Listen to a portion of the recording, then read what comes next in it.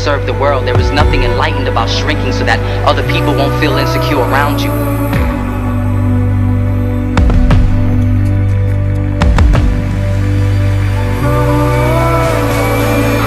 We were all meant to shine as children. It's not just in some of us, it's in everyone. And as we let our own light shine, we unconsciously give other people permission to do the same. As we are liberated from our own fear, our presence automatically liberates others.